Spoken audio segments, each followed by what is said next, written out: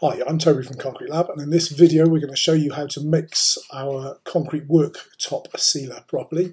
Uh, we're going to assume that you've already worked out the quantities of the constituent parts, part A and part B that you need of the sealer and if you need any assistance with that click on the link below in the description.